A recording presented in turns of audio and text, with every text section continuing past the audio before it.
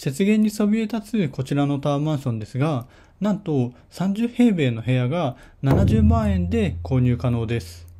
一体なぜそんなに安いのか、そしてそもそもなぜこんなところにタワーマンションが建っているのか、今回はバブルの狂乱の象徴ともいえるリゾートマンションを紹介したいと思います。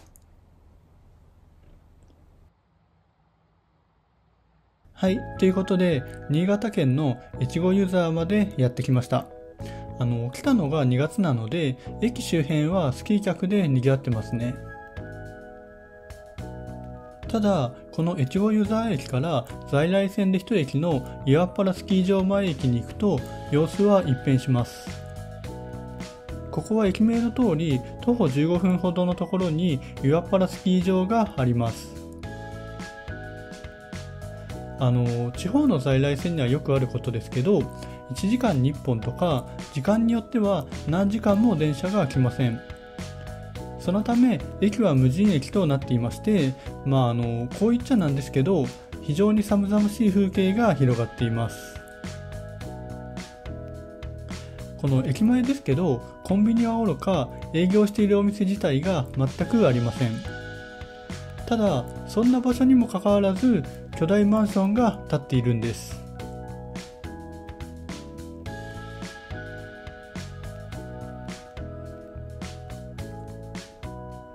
本当駅から徒歩30秒ほどですけどめちゃくちゃ立派なマンションです。なんでこんなところに？っていう感じですよね。しかもここだけじゃなくて少し先にはもっとたくさんの高層マンションが乱立しているんです。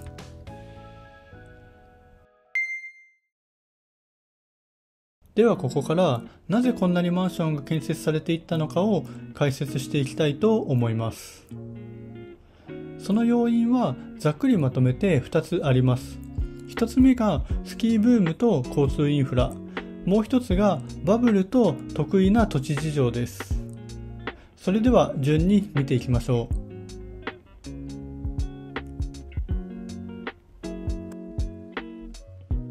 岩パラスキー場が開設されたのは実に90年以上前の1931年になります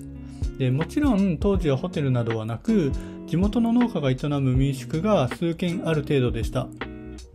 1961年の記録では年間のスキー人口は100万人ほどだったようなんですけど1972年に開催された札幌オリンピックの影響で日本にスキーブームが到来します。時を同じくして1970年代から80年代にかけてこの辺りの交通網が整備されました。まず関越自動車道が順次開通していきさらに1982年に上越新幹線も運行を開始して都心から湯沢町へのアクセスが格段に向上しました。あの上野駅から越後湯沢駅まで当時はもうちょっとかかっていたかもしれないんですけど現在は1時間10分で到着します。その後、1987年公開の映画、私をスキーに連れてってのヒットや、週休2日制の一般化、スキー用品の低価格化などが要因となり、1990年代にスキー人口は年間1800万人に増加しました。湯沢町の観光客も増加を続け、1992年には年間1000万人が訪れ、そのうち800万人がスキー客だったようです。あのバブル期の代表的な観光地だった鬼怒川温泉の観光客数が1993年のピーク時に341万人だったんですけどそれと比べてもいかに盛況だったのかがわかると思います。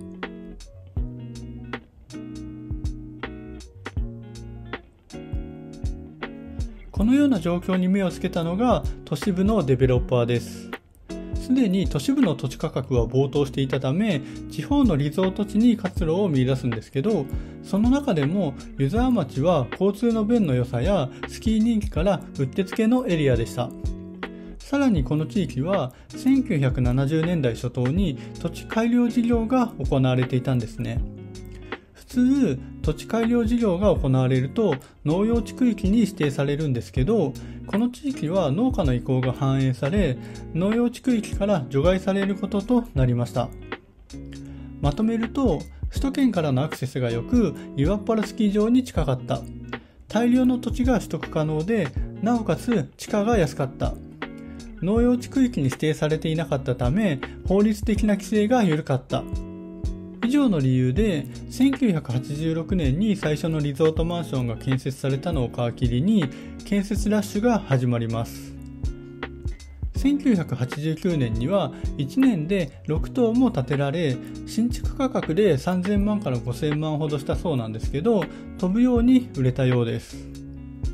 あのスキーなんて年に数回しか行かないのにすごいですよね。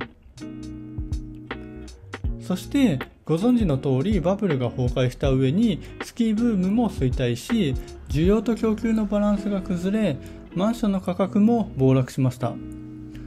毎月の管理費や固定資産税など持っているだけでお金がかかるので手放そうとする人が続出するんですけど買い手が見つからず購入時の数十分の1の価値になってしまいました。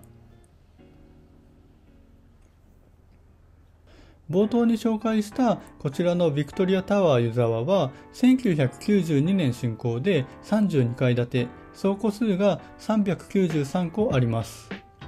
おそらく関越自動車道を走りながら目にしたことがある人も多いのではないでしょうか。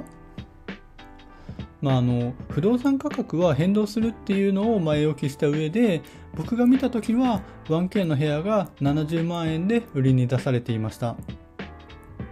しかもこのマンション温泉大浴場や温水プールサウナにジムテニスコートなど共用施設がめちゃくちゃ充実しています。まあ言ってもこのビクトリアタワー湯沢だけじゃなくてこの辺りのリゾートマンションはだいたい温泉大浴場やジムなどは標準装備となっています、まあ、そもそもお金に余裕のある人を相手にしているのでそれくらいのゴージャス感は必要なんでしょうね。ちらはホワイトプラザ湯沢というリゾートマンションになります。一番安い部屋で50万円で売られていました。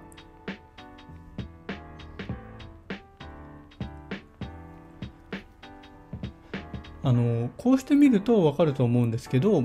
駐車場が満さなくらい埋まっていました。ちょうどスキーシーズン真っ只中に行ったんで当然ちゃ当然ですけどあのなんか売れなくて困ってるっていうより皆さんちゃんとリゾートマンションとして活用されているんだなっていう印象でした。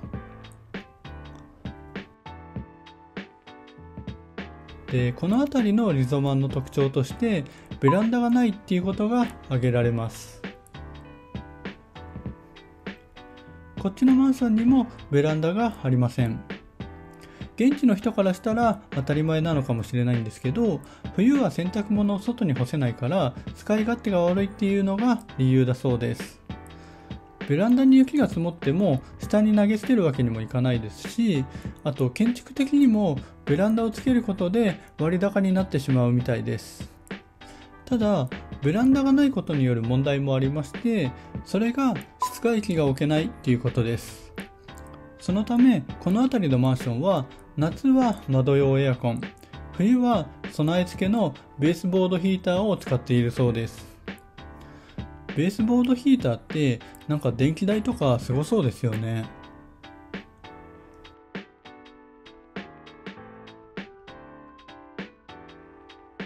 でこの辺りには珍しく廃墟がありました。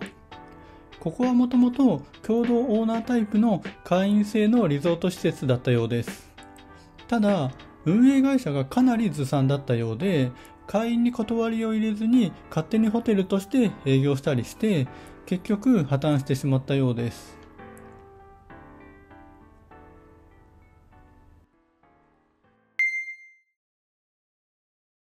はい。ということで、岩パラスキー場周辺のリゾートマンションを見てきましたけど、近年はまた新しい潮流が生まれてきているそうです。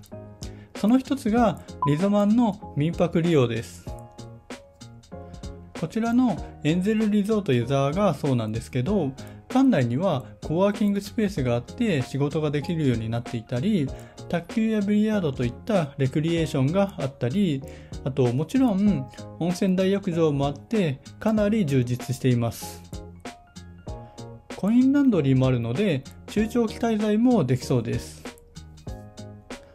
お部屋もリフォームされていて綺麗ですね。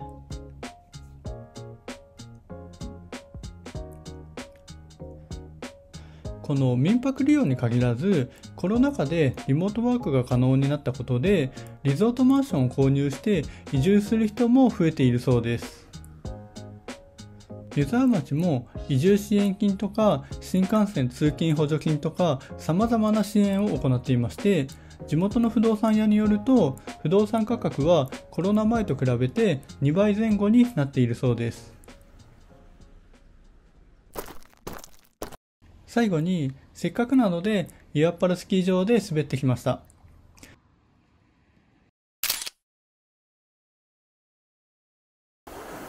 あの、ワイドな緩斜面で、スノーボーを滑るのが10年ぶりぐらいだったんですけど、